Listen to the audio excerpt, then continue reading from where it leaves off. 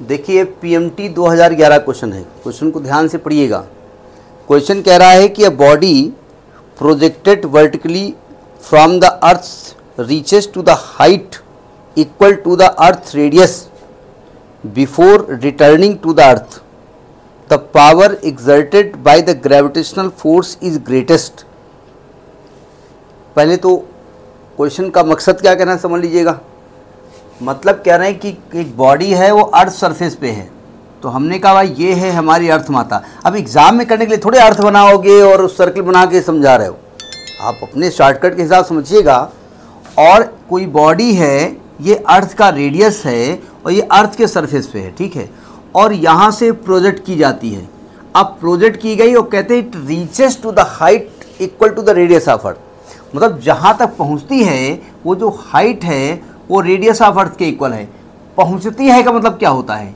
यहाँ उसकी velocity zero हो जाती है। क्यों? मतलब पहुँचती है मतलब पहुँच सकती है। इसके बाद वापस आती होगी ग्राउंड को हिट करती होगी। ये कह रहे हैं ना कि height equal to the earth radius before returning to the earth मतलब अर्थ में रिटर्न होने के पहले वो इस हाइट तक पहुँच जाती है।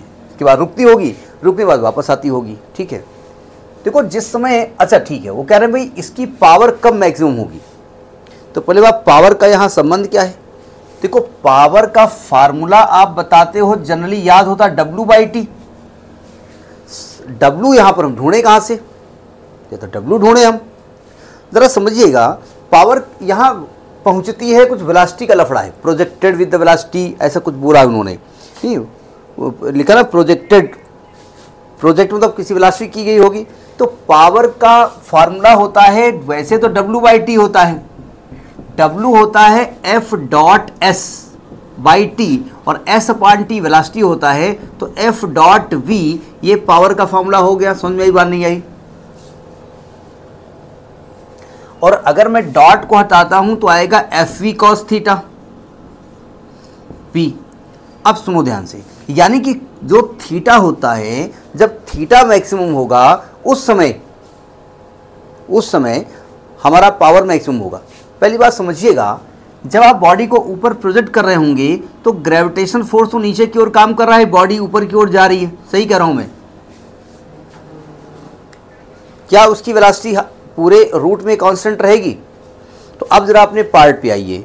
पहला पार्ट कह रहे हैं कि at the instant just before the body hits the earth देखो, जब बॉडी अर्थ को हिट करेगी आकर के तो नीचे की ओर लौट रही होगी। क्यों? और और ग्रेविटेशन फोर्स भी नीचे काम कर रहा होगा। यानी कि पहले पार्ट में अगर हम ध्यान से देखें तो थीटा उसमें 90 डिग्री रहा होगा। सॉरी क्या लिख रहा हूँ? थीटा ज़ीरो डिग्री रहा होगा। तो क्या मैं कह सकता हूँ कि इस कंडीशन में पावर मैक्सिमम रही होगी? क्योंकि कॉस ज़ीरो की वैल्यू वन होती है that is the maximum value अब चलिए ठीक है, हमने पहले पार्ट का आंसर लिख दिया है।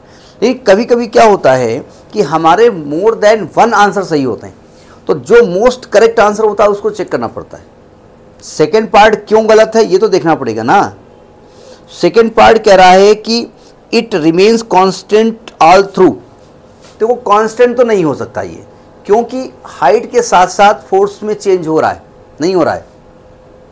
भाई, जो फोर्स काम कर रहा है उस बॉडी के ऊपर, वो काम कर रहा है G M M upon R square और जब आर चेंज हो रहा है, यानी आर स्क्वायर बोलो या आर प्लस एच का स्क्वायर बोलो, जब आर चेंज हो रहा है हाइट चेंज हो रही है तो फोर्स चेंज हो रहा है तो पावर कांस्टेंट तो नहीं रह सकती, यानी सेकेंड पार्ट हमारे हिसाब से गलत है।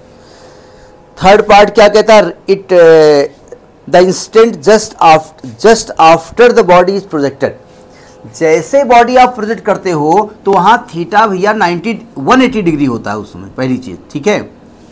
180 डिग्री होता है, इसलिए कॉज 180 की वैल्यू माइनस वन होती है तो that power will be minimum negative आ जाएगी वैल्यू ठीक है? मिनिमम कह दीजिए आप, यानी मैक्सिमम नहीं होगी. फिर कहा गया at the height at the highest position of the body जब बॉडी हाइएस्ट पोजिशन पे गई तो उसकी वेलासिटी ज़ीरो हो गई. जब वेलासिटी ज़ीरो हो गई तो यहाँ पावर अपने आप ज़ीरो हो जाएगी. क्या दिक्कत है भाई? भाई आप दस मंजिल मकान में जाकर बैठ जाओ, मैं बड़ी पावरफुल हूँ, काम कुछ कर नहीं पा रही हो तो क्या मतलब है? बॉडी रुक गई ना वहाँ पर तो यानी इसका ए पार्ट सही है, लेकिन ए पार्ट का आंसर हम, हमको सबसे पहले ही मिल गया था। लेकिन हमको ये चेक करना पड़ेगा कि बी और सी गलत क्यों है।